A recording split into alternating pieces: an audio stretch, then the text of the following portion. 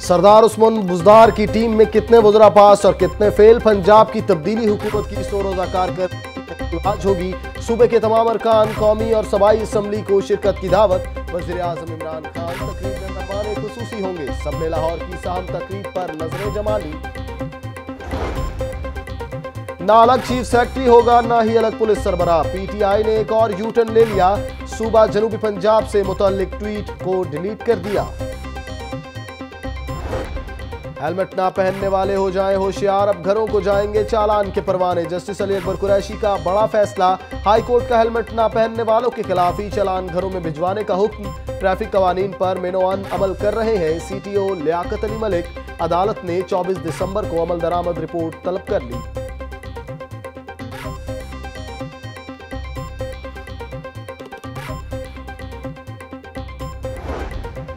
بسنت منائی جائے گی یا نہیں؟ ابھی حتمی فیصلہ کوئی نہیں۔ چیف سیکٹری یوسف نسیم کھوکھر نے حکومتی اعلان کی تردید کر دی۔ یوسف نسیم کھوکھر کا کہنا ہے، بسنت منانے کا حتمی فیصلہ نہیں ہوا۔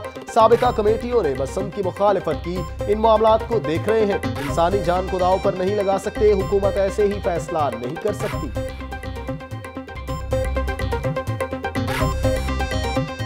میرا خیال ہے، کسی بھی انسانی جان کی کوئی قیمت نہیں لگائی جا سکتی۔ تو جب تک کوئی اس حوالے سے ایشورنس نہیں ہوتی، تو اس وقت تک حکومت بھی ایک فائنل فیصلہ کرنے سے پہلے سوچ کے ہی کرتی۔ یہ ایک فیصلہ تھا جو اصولی طور پہ ہوا تھا اور اس کی ابھی ورک آؤٹ ڈیٹیلز ہو رہی ہیں۔ اور میرا خیال ہے اگر چبجڈس ہو گیا تو پھر it is for the honourable court پسند کے حوالے سے عدالت جو فیصلہ کرے گی قبول کریں گے۔ پاکستانی کلچر میں بھارتی ثقافت کو سپورٹ نہیں کریں گے۔ چھ ہزار فنکاروں کی فیملی کو چار لاکھ کا ہیلتھ انشورنس کارڈ دیں گے۔ فیاض الحسن چوہان کا قذافی سٹیڈیم میں تقریب سے خطاب۔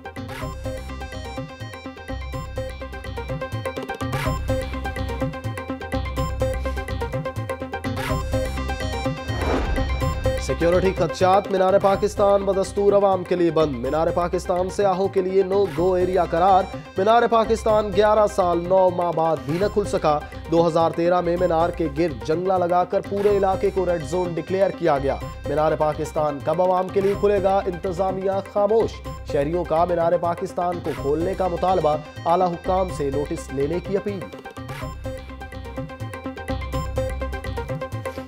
جنگلہ انہیں ہٹا دینا چاہیے اصل میں نا اوپر کچرا لوگ بہت کرتے ہیں تو کم از کم انہیں یہاں تک نا یہاں تک انہیں دینا چاہیے کہ لوگ کم از کم اسے جا کے ہاتھ لگا سکیں۔ دوست پہلے گئے ہوئے ہیں اوپر جب کھولا ہوتا تھا اور بتا رہے تھے کہ کافی اچھی ویو ہے اور بند کر کے اب کوئی فائدہ نہیں ہے کیونکہ اگر کسی نے ایسی کوئی حرکت کرنی ہے سوسائڈ یا کچھ وہ کوئی اور طریقے سے بھی کر سکتے ہیں۔ بالکل کھولنا چاہیے۔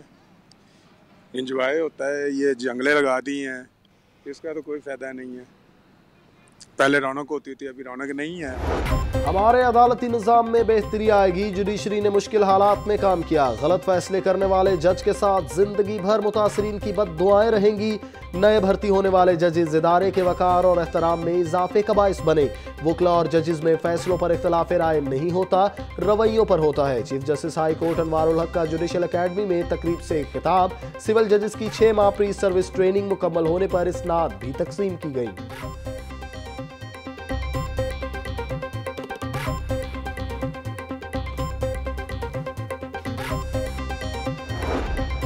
جناح ہسپتال میں لیڈی ڈاکٹر اروشا نورین کی ہلاکت کا معمہ حل ہسپتال ذرائع نے معاملہ خودکشی قرار دیا لاش ورسا کے حوالے کر دی گئی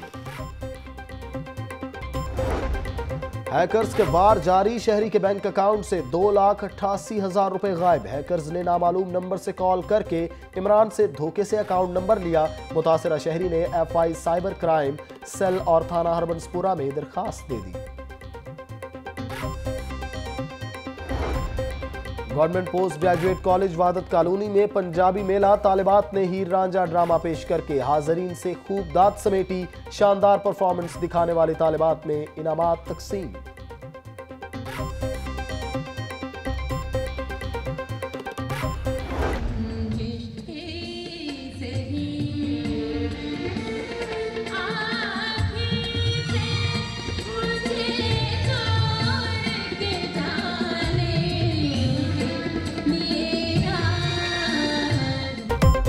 اور الحمرہ کلچرل کمپلیکس میں صوفیانہ کلام، ادب اور ثقافت کے فروغ کے لیے تقریب، گلوکار شوکت علی، عارف لوہار اور شاہدہ منی نے غزل گائکی اور صوفیانہ کلام پیش کیے۔